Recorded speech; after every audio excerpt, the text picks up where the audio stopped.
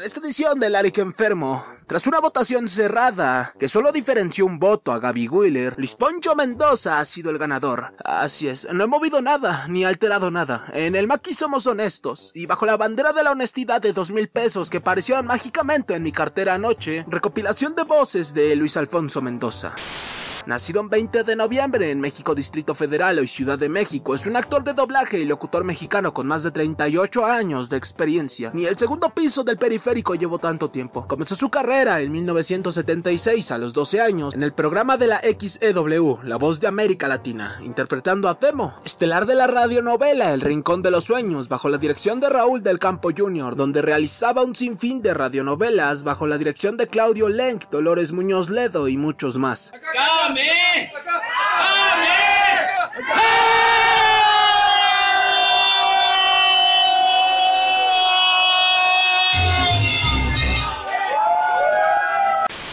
Estudió actuación en el Instituto Nacional de Bellas Artes. Por insistencia de su amigo el actor Carlos Magaña, se inició en el doblaje a principios de los años 80 en un programa de televisión llamado Los Juegos que la gente juega, bajo la dirección de Jorge Sánchez Fogarty. Es hermano de Ricardo Mendoza, también actor de doblaje, padre de Nayeli Mendoza, también actriz de doblaje y esposo de Lourdes Adame, licenciada de Ciencias de la Comunicación. Con el apoyo de su esposa, funda en 1995 Art Spot, centro de capacitación en locución y doblaje de voz, donde se han generado nuevas voces que se integran a los medios de comunicación, donde también se realiza doblaje profesional. Gracias a sus instalaciones competitivas para realizar doblaje de calidad con talento de primera, ha brindado gran oportunidad a las nuevas generaciones. Actualmente a la par del doblaje se desempeña como el docente en el mismo. Y aquí lo que esperaban, exacto, los anuncios que eliminaron del periódico de 1984. ¿Qué vas a hacerme prisas? Tú sabes muy bien que eso es imposible. Mis poderes no se comparan con los tuyos. ¿Qué es esto? ¿Qué quieres, niño?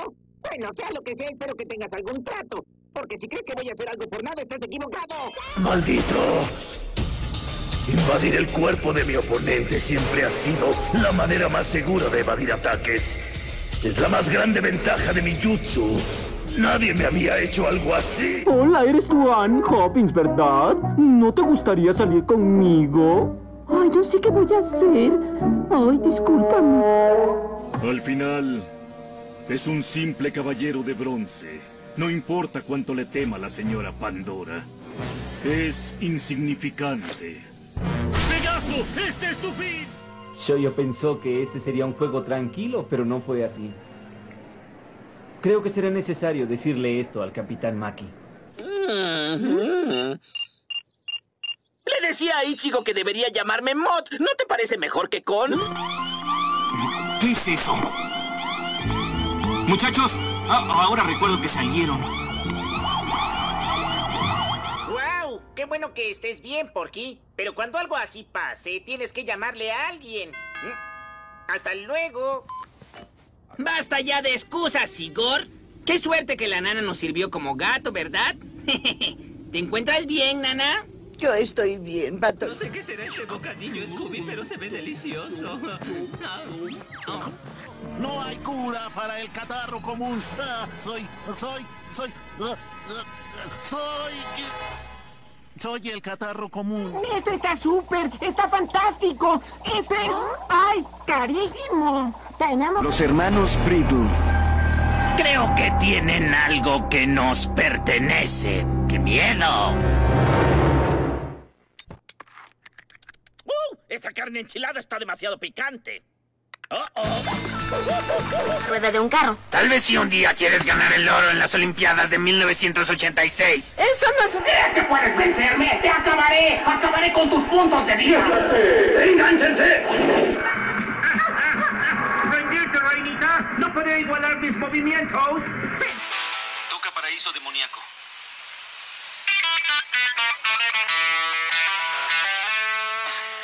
Listo. El nombre de la víctima es Darius Namasi. Tenía 25 años. Parece que... Ah, serios por un momento. ¿Por qué estamos aquí? Somos científicos. ¿Y el científico qué estudia? El universo. ¿De qué está hecho el universo? Ah, les pregunto con alegría.